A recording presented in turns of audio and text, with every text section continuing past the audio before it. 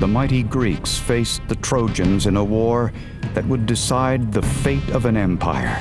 The year was MCC LCC VXIV BC, around April, maybe early May, and there was no Greek warrior more feared than the legendary Achilles who, when dipped in the river Styx by his mother, was made invincible by the water, except for the part of his body by which she held him.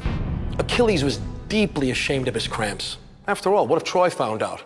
Worse yet, Brian or Terry. His cramps started with his emotional teenage years, which led him to write his first successful book.